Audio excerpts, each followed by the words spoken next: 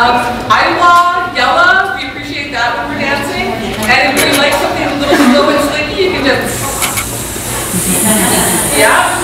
And the soccer region already knows stuff.